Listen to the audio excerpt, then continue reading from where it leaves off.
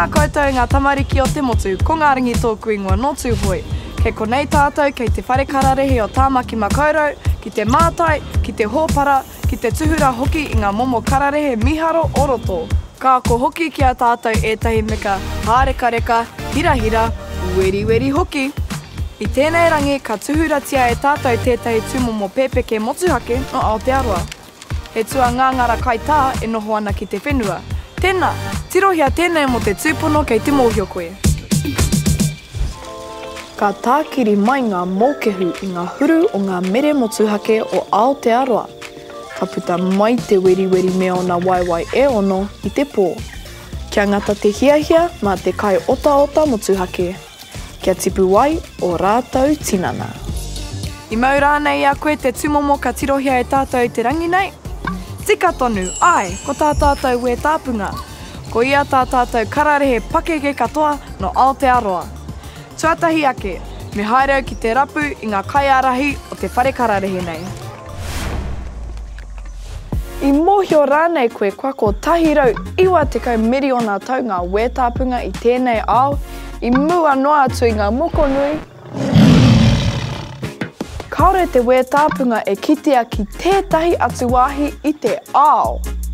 Aha kua ko ia te piharenga nui katoa o te ao, kāre e tae ia te peke, te rere rānei. He tau maharawa.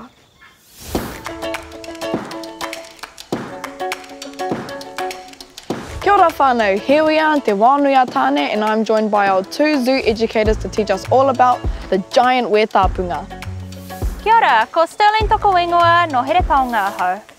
Uh, tēnā koutou katoa, ko Hohepo tōku ingoa, no te tai rāwhiti ahau. He kā ko māua ko Sterling, mo te whare kararehe o Tāmaki Makaurau. Tēnā korua. So, what can you tell us about the wētāpunga and its name? So Aotearoa has 11 different species of giant weta, and the weta punga is the biggest and the heaviest. Yeah, Weta Punga also gets its name from Punga, the god of ugly things. In some stories, he is a descendant from Punga. Females, like this one here, are larger than males and can weigh up to 35 grams, and the largest ever recorded weighed up to 71 grams, when she was full of eggs. That's heavier than a house sparrow. Wow. So, what role do they play in our native ecosystems? So wetapunga produce the largest size poo pellet of any insect in the world. Their poo is full of nutrients and plays a vital role in their forest ecosystem, germinating, fertilising and dispersing plant seeds to help grow the forest. Whoa. So, what can you tell us about their habitat? Well, Weta Punga were found all across Northland, across Auckland and Great Barrier Island, but unfortunately, due to mammalian predators introduced by humans, they only survived on Little Barrier Island or Hauturu-o-Toi. However, Auckland Zoo has been working very hard to help with these numbers as part of our breeding program. So, is there anything I can do to help with their survival? Absolutely. We're going to take you to the breeding rooms and show you where it's all done. Cool.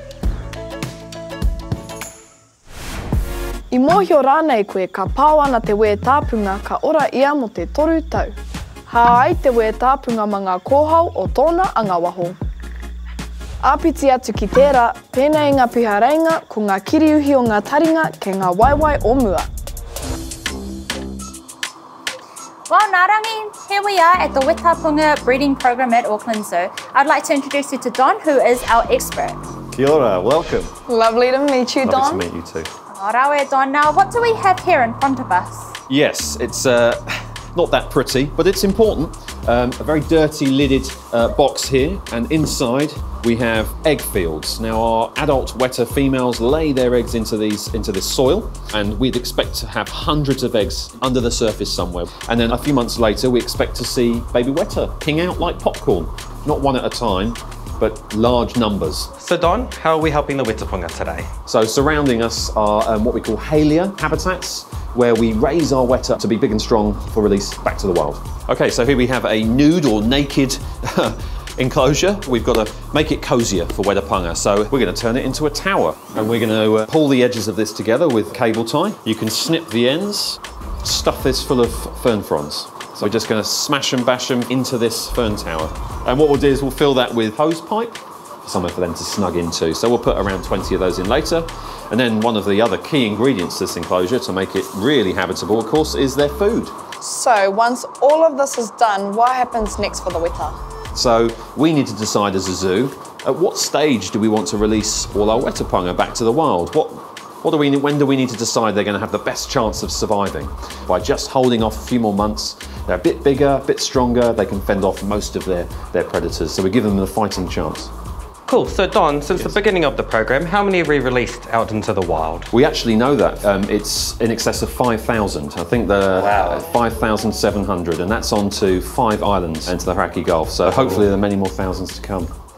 Tēnā rawa te koe Don mō ngā mahi kua āwhina mai koe i te rangi nei. After building all these wetapunga homes, I think I'm ready to hear some homegrown music. Whakarongo mai. Kata kiri mai ngā mō Ke hui ngā huru o ngā mere motu hake o au Te aroa e ka puta mai te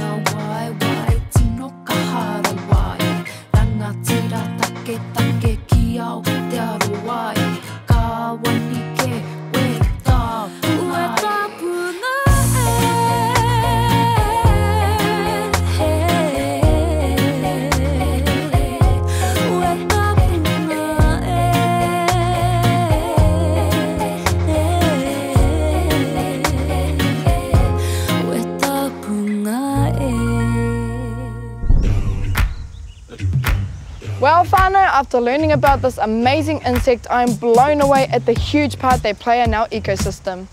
My favourite part was probably learning that the boys are smaller than the girls. Woo! He mihi nui kia hohepa rau ko Sterling mō rawa mōhioranga e pāna ki tēnei momo mū. Oh, kia ora ngā rangi. We're so happy to share this knowledge with you and you too. Kia ora. Kia ora tātou katoa, ka kite anō.